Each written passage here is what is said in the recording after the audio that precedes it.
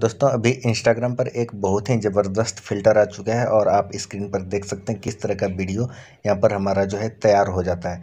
आप देख सकते हैं कितना अच्छा लग रहा है वीडियो देखने में।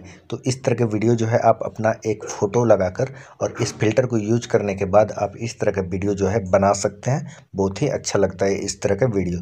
तो इस तरह का वीडियो कैसे बनाया जाता है, आखिर वो कौन सा फ़िल्टर है जो कि इंस्टाग्राम पर है? अगर आप जानना चाहते हैं तो वीडियो के लास्ट तक बने रहिए और इस वीडियो में पहली बार आया है, वीडियो को लाइक कर दीजिए, साथ ही चैनल को सब्सक्राइब कर लीजिए, ताकि ऐसे ही वीडियो आप तक हमेशा पहुँचते रहे। चलिए शुरू करते हैं। तो सबसे पहले आपको क्या करना है इंस्टाग्राम को ओपन कर लेना है। उसके बाद यहाँ पर रील्स का ऑप्शन नीचे देखने को मिलेगा, यहाँ पर क्लिक करना है। ऊपर राइट साइड सबसे ऊपर कैमरे का ऑप्शन मिलेगा, यहाँ पर क्लिक करना है। उसके बाद यहाँ पर आपको अपनी गैलरी से एक फ़ोटो ले लेना है। चलिए मैं कोई गैलरी से एक फ़ोटो यहाँ पर ले आता हूँ। आप फ़ोटो या फिर वीडियो भी ले सकते हैं, वो यूज़ हो जाएगा। तो मैंने यहाँ पर ये वाला देख सकते हैं, ले लिया है।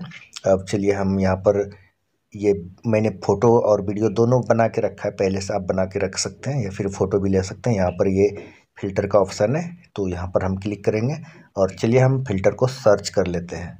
तो मैंने सर्च कर लिया, देख सकते हैं स्पेलिंग यहाँ पर मैं आपको शो कर दूँगा। आप लोग यही सर्च कर लीजिएगा कैरोइल ऐसे कुछ नाम है। तो यहाँ पर सेकंड नंबर जो आ रहा है, इस पर आपको क्लिक कर लेना है। शायद फ़र्स्ट वाला भी काम करता होगा, बट हम यहाँ पर सेकेंड वाला बता रहे हैं। तो सेकेंड वाले पे क्लिक जैसे ही करेंगे तो ये फ़िल्टर जो है हमारे फ़ोटो या फिर वीडियो पर अप्लाई हो जाएगा। अब यहाँ पर कोई भी म्यूज़िक आप लगाना चाहते हैं तो म्यूज़िक के ऑप्शन पर क्लिक करके कोई सॉन्ग लगा सकते हैं, उसके बाद इसको आप पब्लिश कर सकते हैं। है ना? बहुत ही सिंपल तरीका।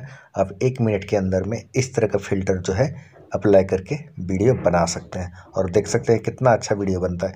तो आप भी जाइए, फटाफट अपना एक फ़ोटो लगाइए और इस फ़िल्टर को यूज़ कीजिए और आप भी इस तरह के वीडियो बनाकर अपलोड कीजिए। अगर ये वीडियो पसंद आई हो तो वीडियो को लाइक कर दीजिए, साथ ही चैनल को सब्सक्राइब। मिलते हैं किसी नए फ़िल्टर के साथ। बहुत ही जल्द। धन्यवाद।